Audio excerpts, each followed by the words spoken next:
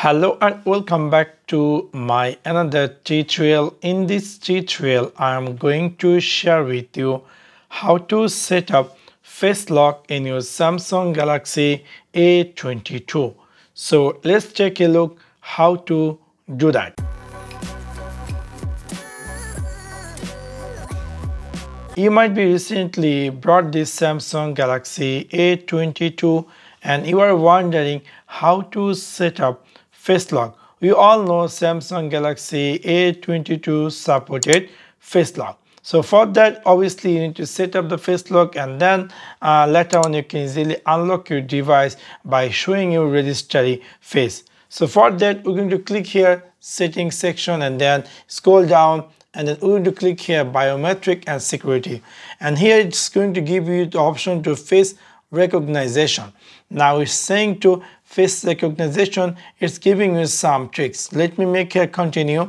And now if your device doesn't have pattern pin or password, you, you, you need to set them uh, any of them and after that it will give you option to set your face lock because maybe somehow or some cases your uh, face shape change or itself your phone uh, face lock or camera is damaged so in this case you can unlock your device with alternate way so let me choose here the pattern which is my favorite one and then I'm going to draw the pattern and then I'm going to click here continue and then I'm going to do the same pattern again and then I'm going to click here confirm now this device will give you option to set the face lock. You can see it's registered successfully, which is really quite interesting. Within a second, this registered my uh, face and now it's saying to stay on lock screen until swipe.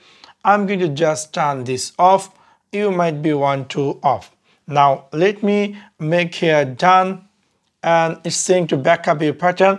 I'm just going to go back and now let me try to lock my phone and let me try to unlock. Now you can see it's very fastly unlocked without swiping up because I made off the swiping up which will make you more uh, useful to use your device. You can see I'm just lock my phone and I'm place the again and it's very fastly unlocked which is really quite impressive. Now you might be want to register new face chip in order to do that or you want to uh, remove the face lock in order to do that you need to click here setting and then click here biometric and security go here face recognition now you need to draw your current pattern that you are on your device and if you decide to remove face data you can click here remove face data and then uh, uh, it's going to give you the pop-up do you like to remove your face data I'm going to click here remove.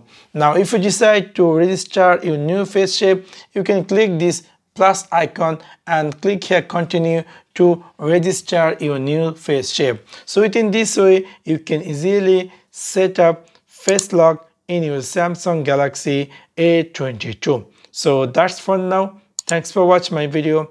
See you next one. Peace.